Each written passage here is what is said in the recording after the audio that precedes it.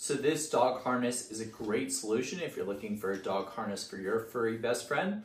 So a few things I really like about this is it has these metal um, buckles and um, pieces here that are really nice because um, a lot of times with plastic, they just crack or break. Metal, you're not gonna have to worry about it. So this is the front of the harness here. So I'll turn right side up. And so the nice thing about this is if you clip it on here, it prevents pulling because it's a chest attachment and then also helps prevent any sort of suffocation um, if your dog like kind of pulls back a lot. Um, so it's really nice that you could clip it onto their chest. And then there's a second option here if you need to clip it up on top. And because they're not uh, circular, they're a little stronger. And like, of course, they're made of metal. This whole thing is padded um, kind of on the back. And then has this nice grab handle here. So if you need to grab your dog, you could grab on there. Plus it has this really heavy duty buckle that you clip on. So overall, it's a really nice high quality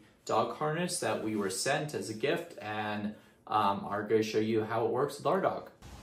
Let me show you how to fit this to the dog. The first thing I'm going to do is unbuckle this. This goes over the head and then the buckle just goes under the chest and then buckles right up here just like that. Now you're on. And so what's nice is you don't have to worry about the legs. You just go right like that. You have a nice grab handle. We can put her leash right on the front,